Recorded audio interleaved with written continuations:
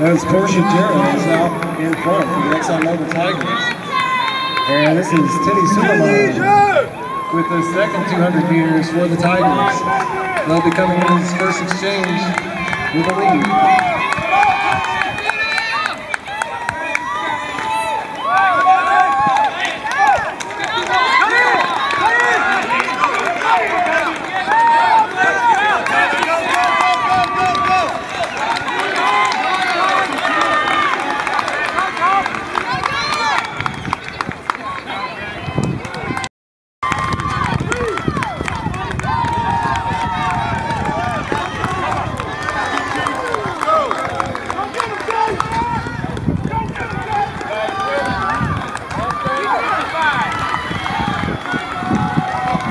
And here